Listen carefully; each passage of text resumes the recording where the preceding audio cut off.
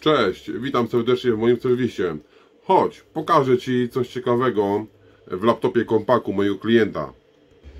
Tutaj właśnie trwa klonowanie tej 320 na nowy dysk 512 Goodrama. Pierwsza lampka miga, wszystkie się tutaj zaświecą na stałe, to skopiowane. Ale nie to jest ciekawe. Ciekawe jest to, co jest pod klawiaturą. Uuu, miodzio, a ten wentylator. Wygląda to superancko. Aż się klei, nie da się odłączyć taśmy. Wow. Ach. Czyż to nie wygląda super?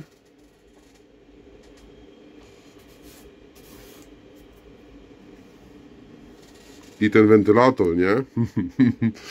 Ciekawe, jak myślisz? Wymaga ten sprzęt czyszczenia? Czy jeszcze chwilę pochodzi? To co? Bierzemy się do roboty, nie? Dzisiaj w serwisie nie mam najczyściej niestety. Dużo pracy, wszędzie śrubki, wszędzie sprzęty, wszędzie wszystko. Eee, co? Łączę trochę światła. Jakbyś lepiej widział. Lecimy z tym y, sprzętem. Na razie musimy sobie wziąć śrubokręt płaski. Delikatnie z wyczuciem odpinamy sobie i łapiemy za kieszonki, wyciągamy. Oczywiście bateria jest pierwszy, co to jest bateria wyjęta. Hop. Zamki zamykamy, bo one lubią się wysypać czasami. No i tu mamy kolejne śrubki. Tak jest.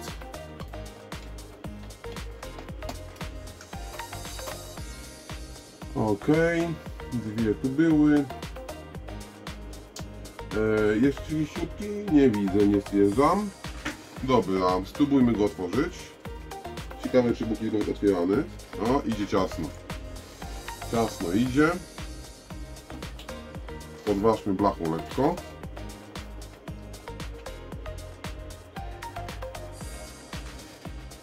Nie chce iść. Nie chce, nie chce. No idź po dobroci. A to jeszcze śrubkę zobaczymy teraz. Taką srebrną. Jest krótsza. Dobra. Co, jak nie chce po dobroci, to trzeba młotkiem, nie? Weźmiemy kosteczkę. Spróbujemy się jej dostać.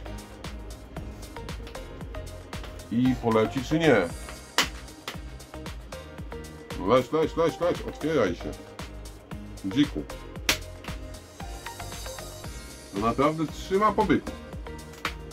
Bym powiedział, że jakieś śruby jeszcze tu są, ale widzę, że odkręcone mam wszystkie. Bo do już podkręcałem.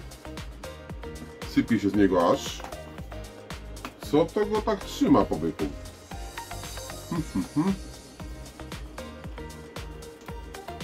Ciekawostka taka. Hop do góry. No coś... Co to się tu dzieje? Na klej sklejone. Paprem czy jak?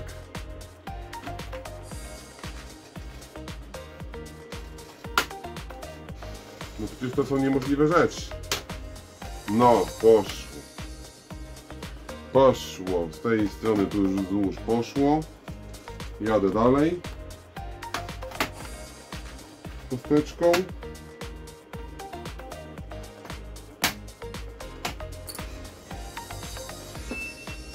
Aż ciekawe co jest pod skrupą. Tu już jest śruba, ich nie widać, nie, bo one są pod tym syfem. Tu jeszcze jest śruba.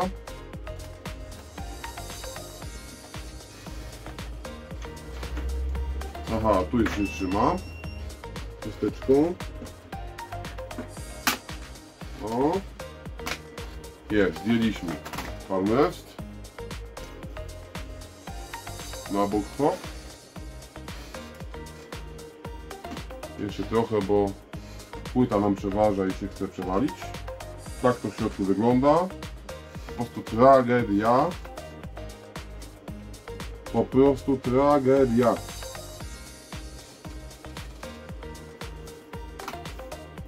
Dawno czegoś takiego nie widziałem. Komputer czyścimy co pół roku w serwisie, raz na rok wymieniamy pasty i jeśli są termopady. Matryca odłączona. Wszystkie kable odłączone. Odkręćmy tą płytę, wyjmijmy to. Coś to jest prawdziwy dramat.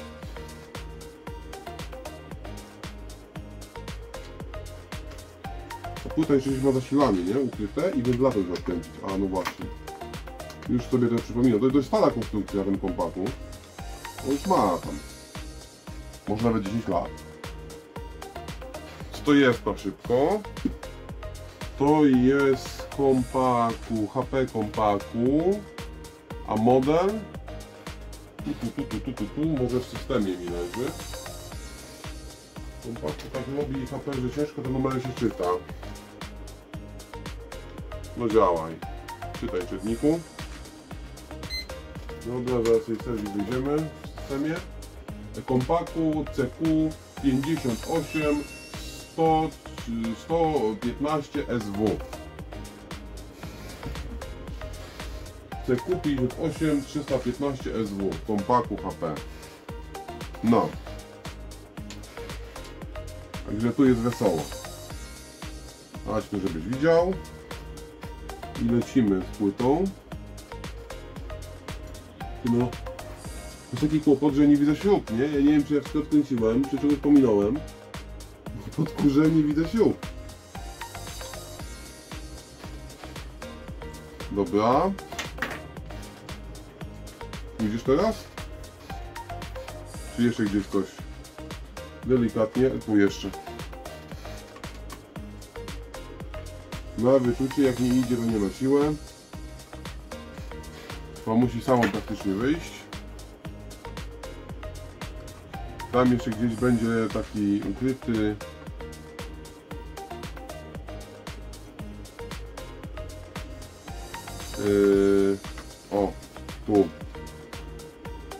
spodu, a nie tu z boku, dobra Aż coś odkleiło tam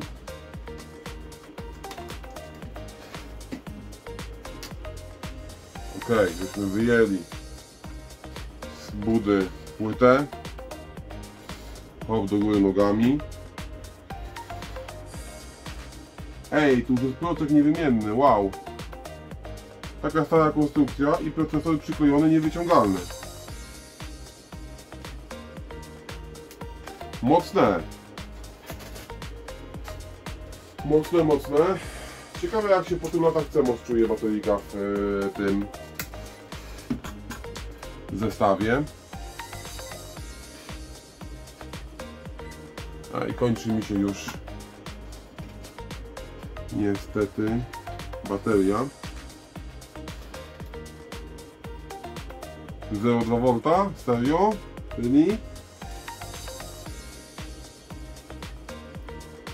Ta, bateria do wymiany. Bateria CMOS jest do wymiany. Możemy ją wywalić od razu. Nic nie warta. Powiem mieć 3 V ma 0,2. Yy, co, kręcimy dalej. Bo to jest do całego chłodzenia przykręcone, nie? Jak to jest? 1, 2, 3, 4. Po kolei 4. 3 2 1 delikatnie, delikatnie, delikatnie. Ło, to jest mój pawnokieć, pomyśl sobie chipa. Jak jest maluteńki procesorek. Okej okej Bierzemy trochę ipy Bierzemy trochę papieru jakiego. Wszystko musimy wypucować. Nie mamy wyjścia, wszystko musimy wypucować. Ta pasta jest po prostu zupełnie, nie? To już jest zupełnie suche. To jest wszystko dramat.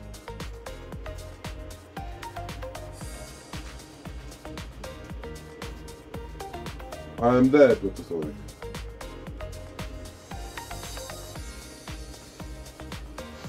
Procesorek AMD. Dobra.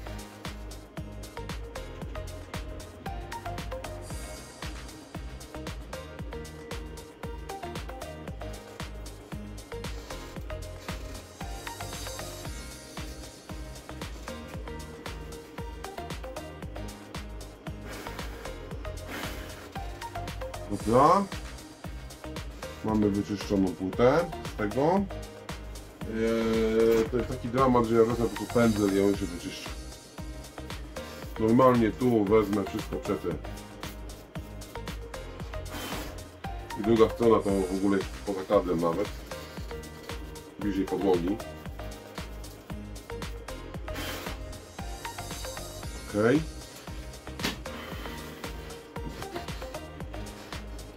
bo to jest naprawdę ostro.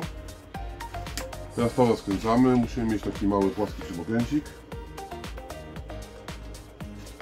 I rozkręcamy wentylator.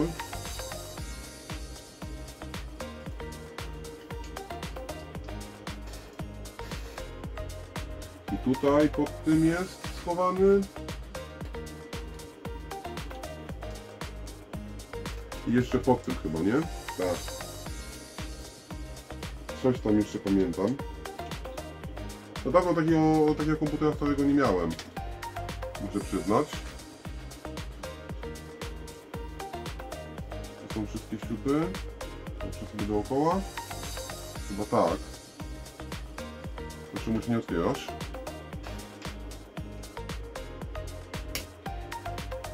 Nie trzeba podważyć sobie.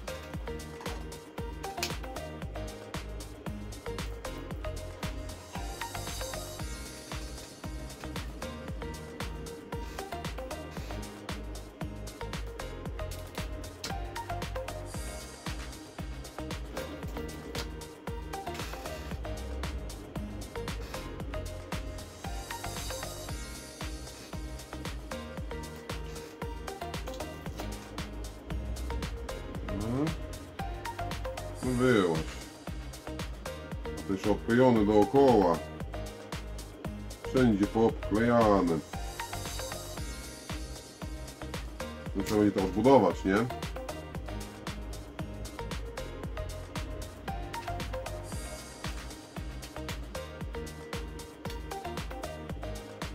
No wyłaś. No jest. Zobaczcie, co tu się stało.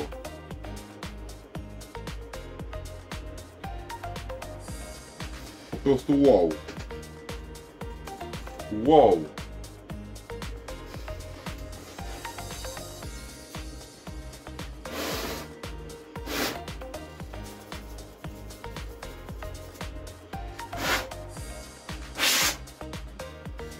Troszeczkę czyściej, nie? To się wyjmuje? Nie, już niewyciągalne, to trzeba delikatnie.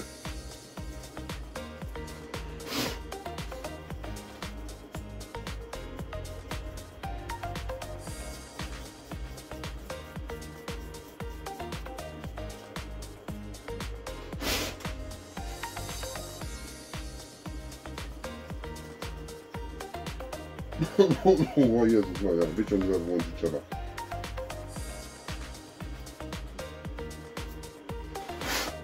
Dobra, wyczyściłem wentylator tak. Tu jest chłodzenie wyczyszczone. Składam to z powrotem.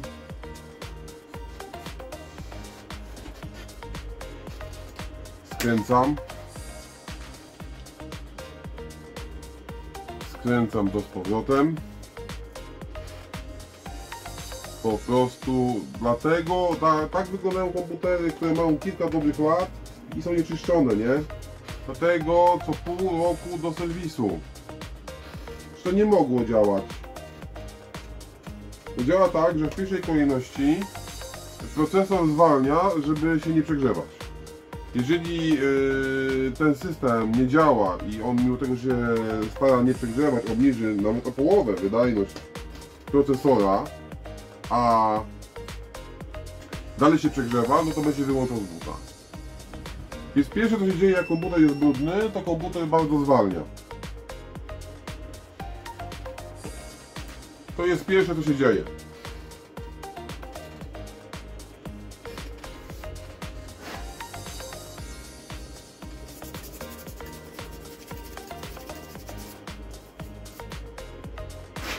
Jeszcze musimy wziąć twardy pędzel krótkim, twardym włosiem i to tu wszystko wyczesać.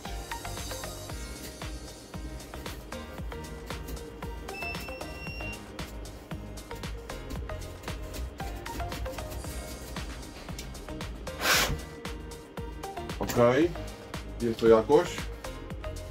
Teraz tu są możemy i tą po tym polać. Niech to się chwilę rozpuści. I wycieramy sobie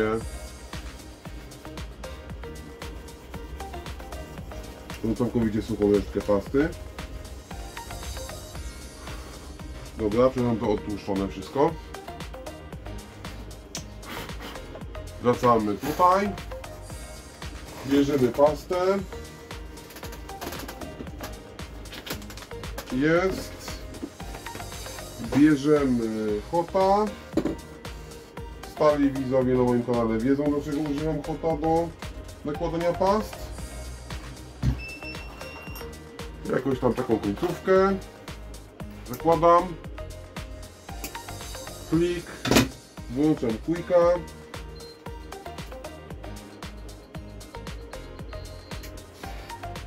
Dobra. Ustawiam jakieś tam 100-110 stopni na tym quicku. Nie więcej w żadnym wypadku, bo się jeszcze procka usmaży. Trzeba też jeszcze z daleka dmuchanie, żeby nie zagrzeć tego za bardzo, jak się tam jakieś mieć realnie 60 stopni. Dobra, mamy pastę, nagrzewam. Już nie się wybrudzić musiałem. Jest, dobra, pracuje, nagrzewa się.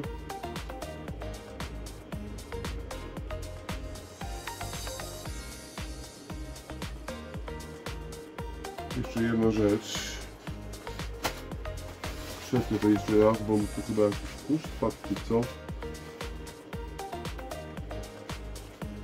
Jakby tu to byłby upuszczony rdzeń. Takie dziwne.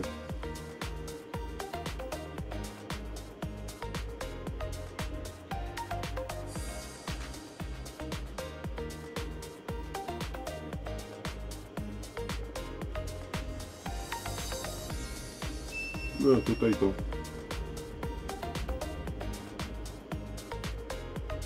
I pasty prawie tyle co nic idzie.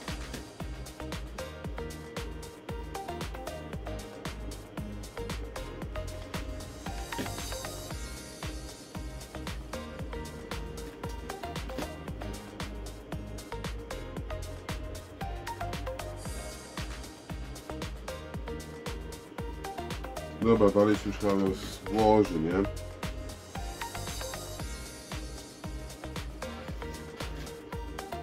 Co tam myślisz? Da radę? Mi się wydaje, że da. Pastę chowam. I zaraz zakładam chłodzonką.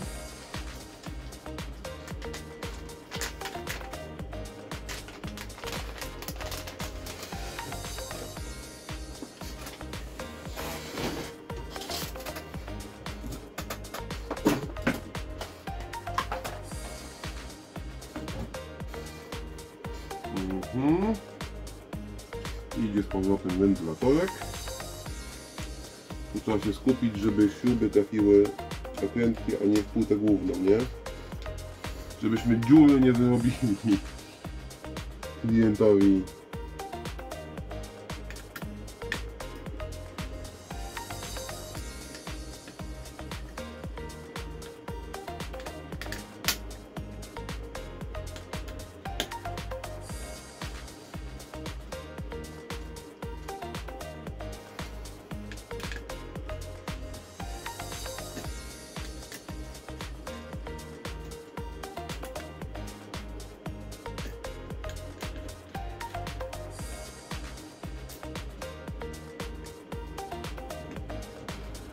Dobra. Mamy. Kręci się w porządku. Papier zabrać tu. Trochę będzie później na biurku. Baterie. Skąd wziąć baterie? Ja nie mam chyba kurczę już baterii. Wszystkie już sprzedałem, oddałem. Skąd tu wziąć baterię? Nawet oddysku nie mam. No nie mam, nie mam. Zaraz będę myślał, tą baterię wziąć. I za chwilę wracam w związku z tym. Jeszcze pokażę jak to wygląda z bliska. To jest ten brak baterii. A tutaj mamy naszą maszynkę i nam tak mryga kopiuje Eee, dane. No nic, idę szukać baterii. Ok, wróciłem. Mam Panasonica nieotwartą jeszcze baterię. Dziwnego, bo jej się otworzyć nie daje. Oni... Czemu to nie ma jakiegoś żeby to otworzyć? No jak to zrobić? Ej, no jak się otwiera bateria? Nieważne, wyjąłem. Mam. To wywalić. Sprawdzamy. Razem. Minus plus. 3,2 V. Elegancko. Zakładam. Upewniamy się. Tak, 3,2 V jest. Bateria CMOS wymieniona, to już jest złom.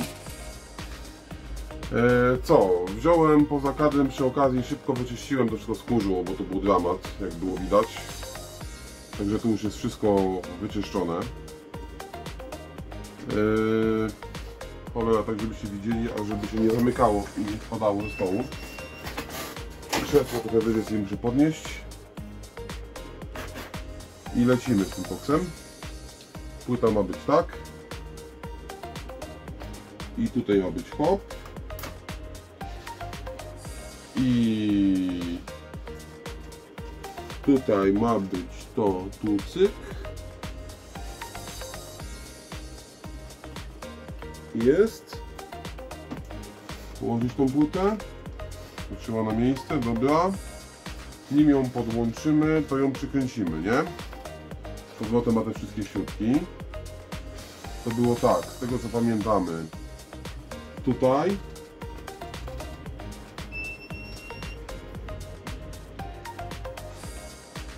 tutaj. Wentylator.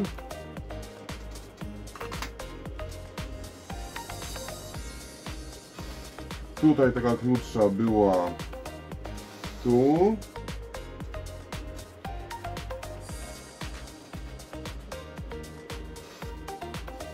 Tu jest taka zasada, że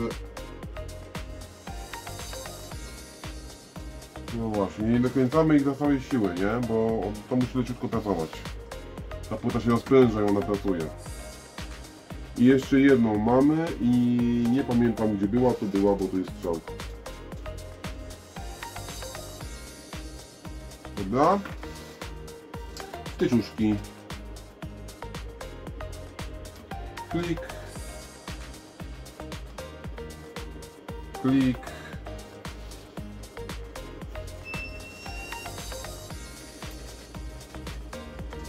Taśma cała, cała.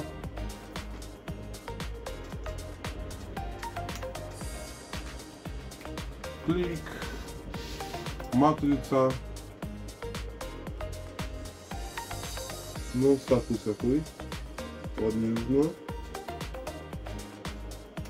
Jest klik. To tam ułożyć, to przykleić jak było.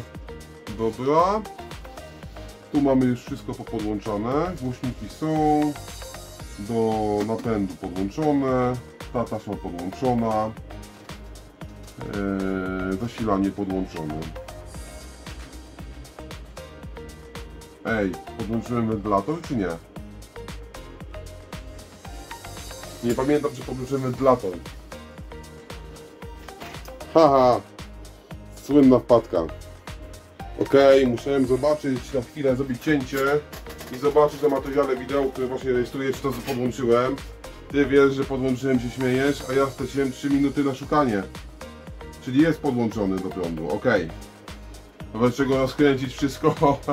Najczęstsza wpadka serwisantów, najczęstsza. Yy, to się notorycznie nam zdarza. A, jeszcze tego nie wyczyściłem tutaj. Patrz ten pędzel i...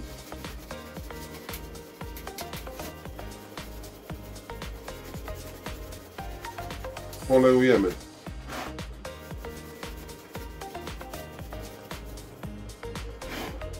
Dobra, tak mi to wyszło. Zakładam. Palmrest.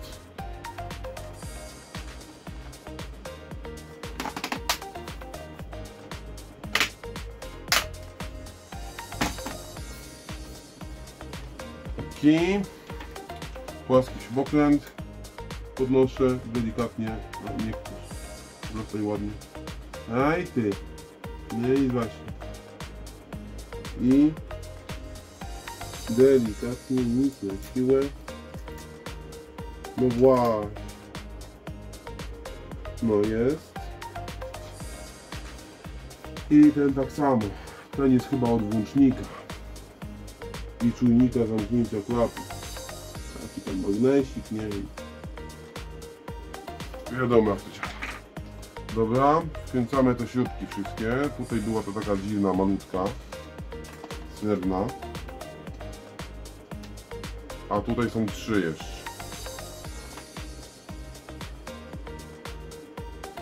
No Dobry technik kończy wtedy pracę, jak mu się śrubki na stole skończyły, nie? A jak składasz i nie została Ci śrubka i nie wiesz skąd, no to rozkręć już jeszcze raz. Taka zasada. A teraz jak koledzy technicy oglądają, uderzcie się w pierś, to miał na stole dwie śrubki i, albo jedną nawet śrubkę i powiedział, ach cholera, przecież się nie rozleci bez tej jednej.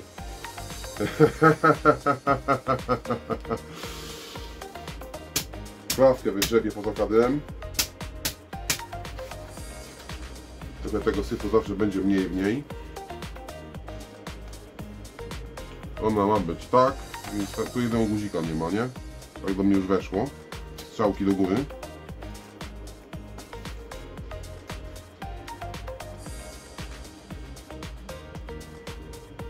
Dobra.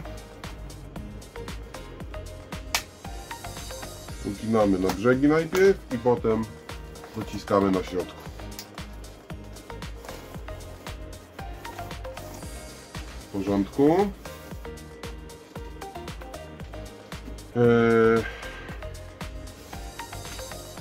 Myślę nad tym, czy nim to całkowicie poskręcam. Dysk ile ma tych kropek? Trzecia leci na 4, to jest jakiś tam 75% powiedzmy około. Myślę nad tym, czy go odpalić bez tych dysków, czy on się w ogóle odpala po tej robocie, bo to z tym bywa różnie.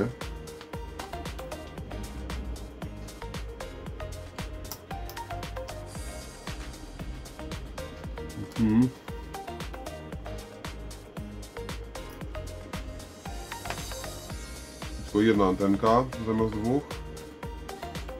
A tu jest tak bateria, że to można wymienić nawet yy, nie z laptopa całego. Fajnie ktoś pomyślał, no. Ktoś pomyślał o tym. Kiedyś takie głupoty cieszyły, to, to, to, to było istotne. Teraz musimy dwie takie dłuższe, o. Bo te dłuższe to są różnej długości śruby i jak pomylisz to masz problem, bo przewieźć się na wiele tyłu uczysz obudowę na górze. Te dwie dłuższe tu wkręcimy. Bo zawiasy są. To niech to się jakoś trzyma. Tego terminatora, czy jak tam się zwie i, i, i dysku na razie nie mam, bo się jeszcze klonuje. Ale weźmy to, włączmy. Przyciemnie światła.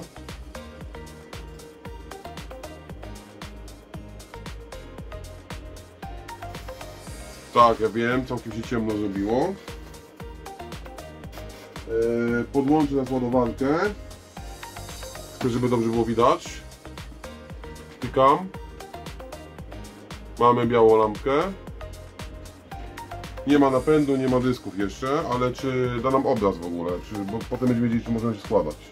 Włączony, pamiętajmy, że CMOSa nie było. Jest już tu CMOS Reset, coś tam coś. E, Enter Robot System. No to zróbmy ten Robot System i klikajmy ESC. Eee, kłopot z twardym dyskiem. Eee, F10 setup. Jest, działa, żyje. Nie działają te strzałki w ogóle. O, na dół zadziałały. Do góry nie. nie zadziała jak się paznokcie nam kliknie. Dobra, trzeba ustawić godzinę, datę i inne tam e, parametry. Światła już włączam.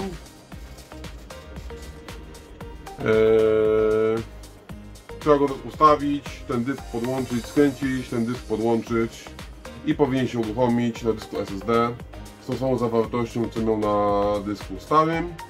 Potem to pooptymalizować i gotowe. Także e, to jest coś szybciej jak się dało, że komputer jest skonserwowany i naprawiony. Jeszcze szybko z ręki, telefon, tak to wygląda. Tu są tam jakieś parametry. No to jest rok 13 coś. W ogóle w BIOSie. Jeszcze garstka śrubek do wkręcenia. Tutaj myga nam trzecia na 4. Kopiuje się ze starego dysku na nowy. I tak to wygląda. Tak wygląda typowa e, serwisówka takiego laptopa, jego spa na serwis, e, konserwacja, zwał jak zwał. On już ruszy, jestem tego pewny, bo jak się wyświetla obraz w tym momencie, to będzie dobrze. To BGA nie uszkodziliśmy w klocku, będzie ok. Pozdrawiam ślicznie wszystkich, e, dobrego życzę i do zobaczenia w kolejnym.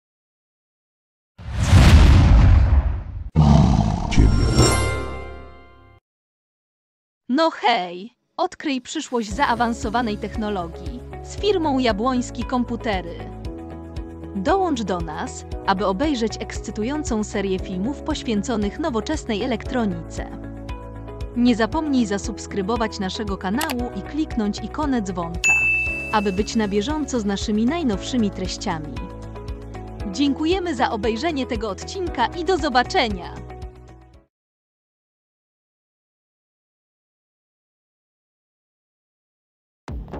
Ok, witam wszystkich. Taki mały postscriptum, stawka po filmie. Z naszym pacjentem e, kompaku wcale nie jest tak łatwo, jakby się mogło mi wydawać. Prawie z nim przegrałem. Jest w nim grany Windows 8.1. Mamy 22.18.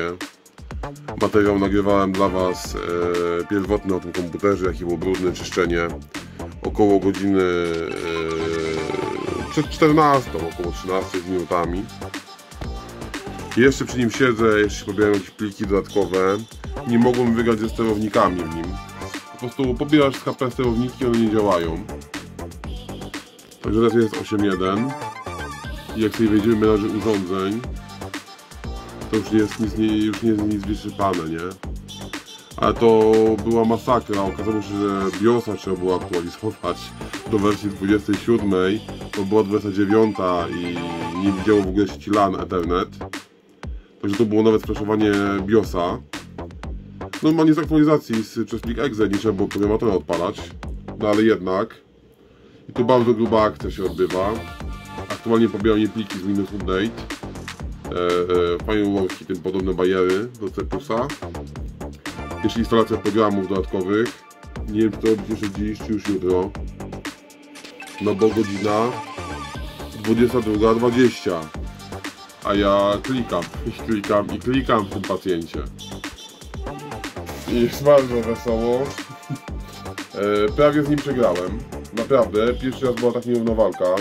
Normalnie na stronie e, HP e, wchodzisz, pobierasz sterowniki, już nawet wziąłem, uruchomiłem tą funkcję detekcji mojego urządzenia, że tego firewalla HP zainstalowałem i wykrywało moje urządzenie, które ja mam.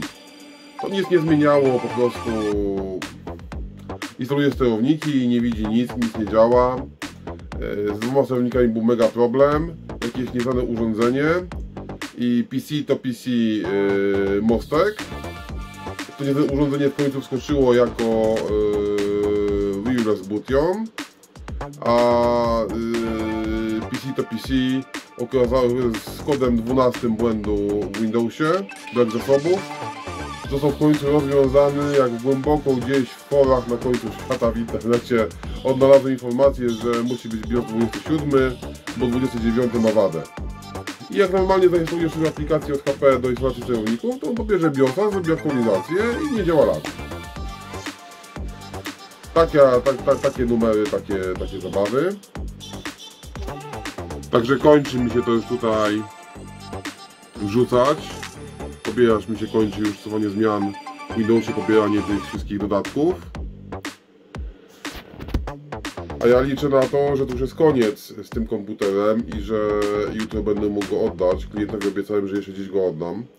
Ale nie ma szans, no 22.01. Eee, A ja jestem na etapie, że skończyłem walczyć ze sterownikami, nie? I dwa, jeszcze oczywiście człowiek, żeby świadomy był, że to jest BIOS od razu, pach, pach, to było szybko, a to walka, walka. Dwa formaty pełne do Windowsa 8. Eee, jeszcze powiem czemu to jest Windows 8. Eee, dlatego, że ten komputer ma dość słaby procesor. I jeszcze na etapie rozważania jak to ugryźć, uznałem, że nie mam sensu upgrade'ować do dziesiątki, bo po prostu on tego nie dźwignie, on na tej 8.1 systemie już to nie chodzi idealnie płynnie, nie? 10-letni komputer, który ma bardzo słaby procesor niezmienialny gdzieś ma AMD. To jest 1,2 GHz, dwa rdzenie i 4 GB RAMu. No RAM jeszcze możemy dołożyć teoretycznie, no ale... No właśnie. Okej, pozdrawiam wszystkich ślicznie. Eee, czasem są takie trudne przypadki.